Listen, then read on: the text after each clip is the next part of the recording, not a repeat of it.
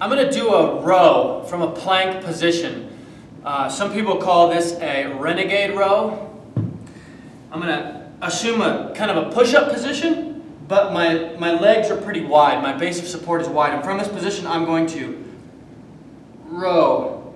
Replace the dumbbell and transition to the other hemisphere. Row. Replace, anchor, row. Replace, anchor, row. As I'm doing this, my hips and trunk shift unilaterally.